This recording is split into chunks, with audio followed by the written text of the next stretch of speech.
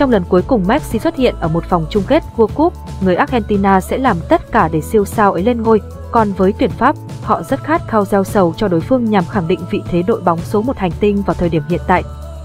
Trận chung kết World Cup 2022 giữa Argentina với Pháp cuộc đấu đáng chờ đợi nhất với người hâm mộ túc cầu giáo. Cả Argentina lẫn Pháp đều đã trình diễn phong độ ấn tượng cùng rất nhiều màn so tài cảm xúc cho cổ động viên. Đáng chú ý, hai đội bóng nói trên đều đang đi tìm ngôi sao thứ ba trên ngực áo, bởi họ đều cùng có hai lần đăng quang trong lịch sử giải đấu. Với Argentina, họ đang chờ đợi chức vô địch World Cup đầu tiên kể từ năm 1986 trong khi với tuyển Pháp, họ đang khao khát trở thành đội đầu tiên kể từ Brazil năm 1962 bảo vệ thành công danh hiệu mình nắm giữ. Ở lần gần nhất đối đầu tại Cúp Thế giới, Argentina đã nhận thất bại 3-4 trước Pháp trong khuôn khổ vòng mùng 1 tháng 8, qua đó chính thức dừng bước. Tuy nhiên, đó đã là câu chuyện của quá khứ còn hiện tại, đoàn quân của huấn luyện viên Lionel Scaloni đang có tinh thần cùng quyết tâm rất cao. Trong lần cuối cùng Messi xuất hiện ở một vòng chung kết World Cup, người Argentina sẽ làm tất cả để siêu sao ấy lên ngôi, còn với tuyển Pháp, họ rất khát khao gieo sầu cho đối phương nhằm khẳng định vị thế đội bóng số một hành tinh vào thời điểm hiện tại.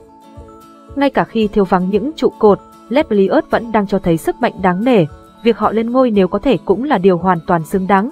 Phân tích, nhận định Argentina với Pháp, tỷ lệ mới nhất trận Argentina với Pháp ghi nhận sự cân bằng, không giờ. Tổng bàn thắng cả trận chỉ ở mức hai hòa không phản ánh đúng hỏa lực mà hai đội sở hữu. Messi, Mbappe đều đang dẫn đầu danh sách vua phá lưới với 5 bàn, Olivier Giroud theo sát với 4 bàn. Nhưng nó phản ánh đúng sức nóng của một trận đấu vô cực, ai thắng người đó sẽ có mọi thứ, danh vọng, tiền bạc và vô vàn những kim quang. Nếu như Pháp đang muốn trở thành đội bóng thứ ba trên thế giới trở thành đội bóng hai lần liên tiếp giữ cúp vàng, trước đó là Italia, World Cup 1934 và 1938, Brazil 1958 và 1962. Thì Argentina và Messi đang được Diego Maradona nâng đỡ bước chân. Có thể cho rằng Argentina nhỉnh hơn đôi chút về sự may mắn, còn Pháp cho thấy họ được giới điều hành đánh giá là đội bóng thực lực tốt hơn chỉ một chút xíu, cho dù không rõ ràng. Cách đây hơn 4 năm, Pháp đã đánh bại Argentina 4-3 tại vòng mùng 1 tháng 8 World Cup 2018. Đó là trận đấu mà Kylian Mbappe đã tỏa sáng với một cú đúc còn Messi tịt ngòi, chờ Messi trả lỡ Mbappe. Dạng sáng nay, ngày 15 tháng 12, Pháp đã đánh bại Maroc 2 không để vào chung kết World Cup 2022 gặp Argentina. Trước trận cầu trong mơ này, người hâm mộ lại nhớ tới màn rượt đuổi tỷ số kịch tính với những tuyệt phẩm được cầu thủ hai đội cống hiến trên đất Nga hơn 4 năm trước trong cuộc gỡ sức tại vòng mùng 1 tháng 8 World Cup 2022.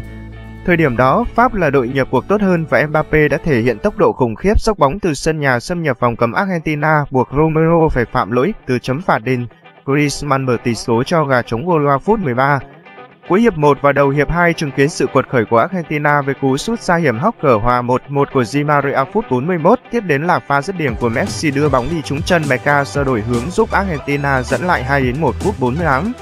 Thời gian tiếp theo là những phút đáng quên nhất với Messi cùng đồng đội khi Pháp có bàn gỡ hòa 2-2 với cú sút xa tuyệt đẹp của hậu vệ cánh Pavard phút 57. Tiếp theo là cú đúp của Mbappe với một pha dứt điểm bằng chân trái phút 64, một bằng chân phải phút 68 sau vòng cấm đưa Pháp dẫn 4 đến 2, hai bàn thắng cho thấy sức mạnh khả năng sút bóng toàn diện bằng cả hai chân của Mbappe phút bù giờ của trận đấu. Messi đưa ra đường kiến tạo tinh tế cho Aguero đánh đầu rút ngắn tỷ số 3-4 và đó là điểm nhấn cuối cùng của trận đấu. Argentina bị loại Pháp đi tiếp vào tứ kết, thắng Uruguay 2, không bán kết, thắng Bỉ 1-0 và lên ngôi vô địch sau khi đánh bại Croatia 4-2 trong trận chung kết.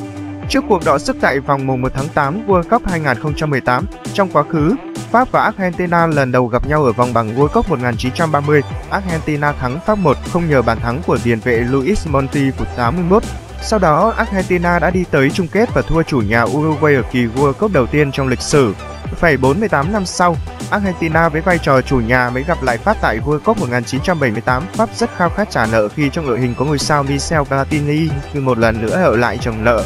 Argentina có bàn vượt lên dẫn trước từ chấm phạt đền cuối hiệp 1 do công hậu Casarella, người đã cùng Argentina hai lần vô địch thế giới năm 1978, 1986 và sau khi giã từ sự nghiệp đã trở thành huấn luyện viên nội tuyển quốc gia Argentina giai đoạn từ 1994 đến 1998. Michel Platini gỡ hòa 1, 1 cho Pháp phút 60, nhưng cuối cùng chân sút Luque đã ấn định chiến thắng chung cuộc 2-1 cho Argentina với cú bắt vô lê tuyệt đẹp phút 73. Argentina sau đó đi tới trận chung kết và đánh bại Hà Lan 3 đến 1 sau 120 phút thi đấu với cú đúp của huyền thoại Mario Kempes và một pha lập công của Daniel Bettany hoàn 1-1 sau hai hiệp chính thức để lần đầu tiên lên đỉnh ngũ cốc. Như vậy tỷ số đối đầu giữa Argentina và Pháp tại World Cup đang là 2 đến 1 nghiêng về phía đội bóng xứ Tango. Còn tính tổng cộng cả các trận giao hữu từ quá khứ tới nay, Pháp và Argentina đã gặp nhau 12 trận, Argentina thắng 6 trận, hòa 3 và thua 3. Hãy cùng chờ xem trận chung kết đêm ngày 18 tháng 12 tới, Messi sẽ đi vào ngôi đền của những huyền thoại lần đầu tiên vô địch World Cup cùng Argentina. Nếu điều đó trở thành hiện thực, Argentina cũng sẽ có chức cúp vô địch thế giới lần thứ ba sau 36 năm chờ đợi kể từ ngày huyền thoại Maradona cùng Argentina. Năm 1986, hay Mbappe mới là người được chọn cùng Pháp trở thành đội thứ ba trong lịch sử bảo vệ thành công danh hiệu vô địch thế giới sau Italia 1934, 1938, Brazil 1958, 1962.